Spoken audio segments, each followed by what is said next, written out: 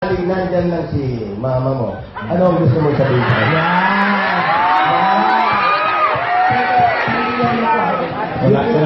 Wala siya. Yung importante, yung mga bagay na nandito dapat hindi mo eh. Oo, gusto mong gawin. Nakaka-share mo dapat eh. Nakaka-share mo dapat.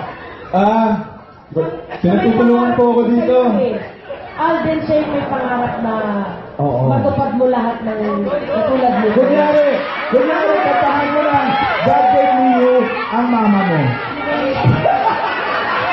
Ayusin lang, ayusin lang. Andyan siya.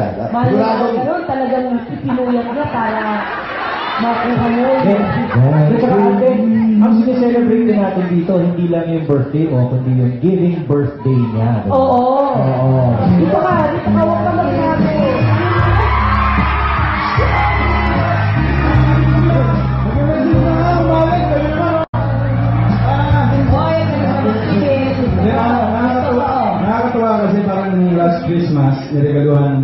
nagregalo yung pinsan ko ng video, parang old video ko nung Pasko namin siguro mga 20 years ago.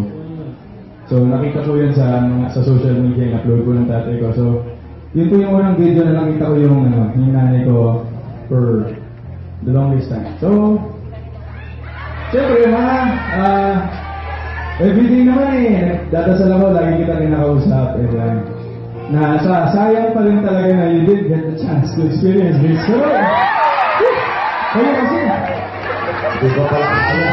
Wala. ah, everyone's real.